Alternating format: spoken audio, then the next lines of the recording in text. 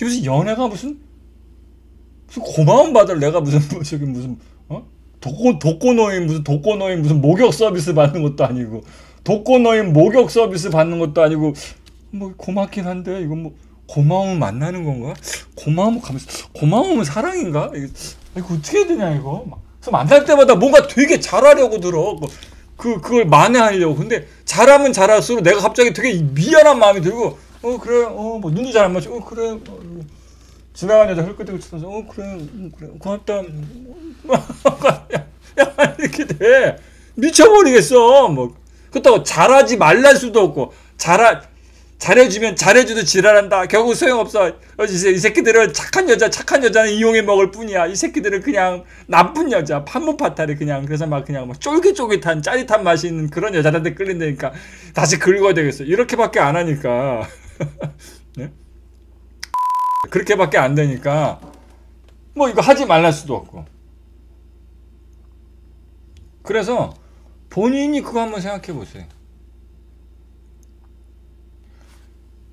예전에 예전에 우리가 한때 무슨 그 검색어에 뭐 걸릴까 싶어서 키워드 썼다 다시는 안 쓴 게 있는 게 뭐냐 안 쓰던 키워드가 있는데 이게 네이버에 지금 지금도 나와 근데 이거 정말 답 없어 뭐냐면 헤어진 전 애인 돌아오게 하는 법. 식어버린 상대 마음 돌리는 법. 이런 걸로 뭐 네이버에 검색하시는 분들 계세요. 그리고 저한테 물어보는 사람도 있어. 교수님 저요 그 저 지금 만나는 사람 아 저는 이제 참 소중하고 고마운 사람이지 몰랐는데 뭐 그 일장 연설을 넣으라면서.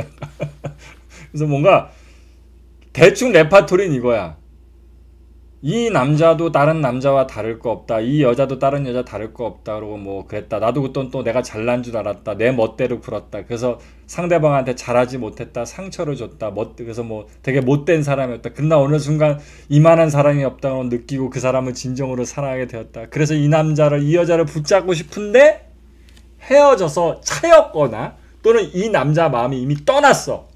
헤어지진 않았지만 이미 떠난 상태야. 이거 도대체 어떻게 돌려야 됩니까? 어떻게 하면 상매학 방식으로 돌릴 수 있습니까? 라는 거 저 옛날에 저한테 물어본 사람들이 있었어요.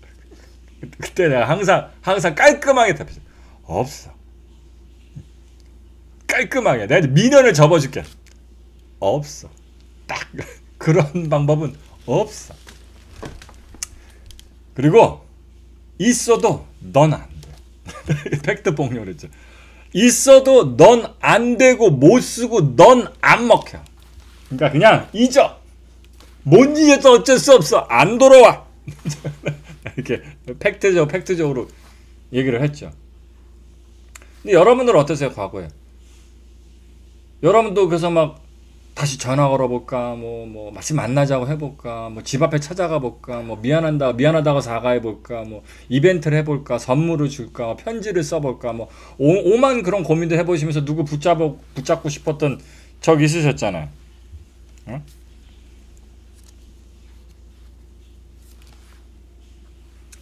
근데 여러분들이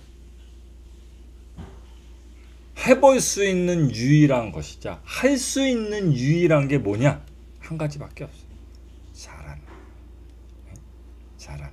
그게 바로 누군가로 하여금 나를 사랑하도록 만들고 내 곁에 늘 머물도록 만드는 특별하고 신비한 매력이 없는 사람들 그런 게 없는 사람들이 가진 유일한 슬픈 무기예요. 그냥 머리 팍 대가리 숙이고 눈치 슬슬 보면서 잘하는 거. 요거밖에 요거밖에 없어. 찍소리 못하고 뭐라고 지랄하든 뭐라 그냥, 그냥 죽었거니 하고 한다. 죽었거니 아 죽었거니 하고 눈치 슬슬 보면서 잘하는 거. 예? 얄라 잘하는 거지. 충성하는 거지. 어? 이쁜 짓 하고 하는 거지. 어? 그리고 그걸로 깔끔하게 마무리가 딱 되죠. 해보셨잖아요.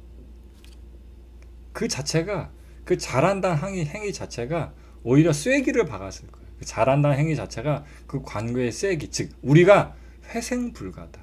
우리가 도저히 다시 잘 될 수가 없다라는 회생 불가라는 거를 즉 사망 선고를 서로가 확실하게 알게 해주는 쐐기 효과를 일으킬 뿐이었다는 걸 여러분들이 과거의 세월 속에서 충분히 경험을 했을 거예요. 왜냐? 너무 간단하죠. 되게 잘했어. 이전에 이전에 되게 안 좋았던 행동들은 하나도 안 하고 이제부터 되게 잘하기만 해. 근데 어때요? 전혀 관계에 진전이 없죠. 전혀 관계에 진전이 없다. 그러니까 아는 거야. 아, 우린 더 이상 희망이 없구나. 어? 난 이것 때문에 우리가 이렇게 된 거다. 이런 문제 때문이야. 내가 이거 잘못했기 때문이다. 그런 모든 문제를 다 안 해. 하나도 안 해. 그리고 이젠 잘하기만 해. 근데 관계의 진전이 전혀 없는 거야.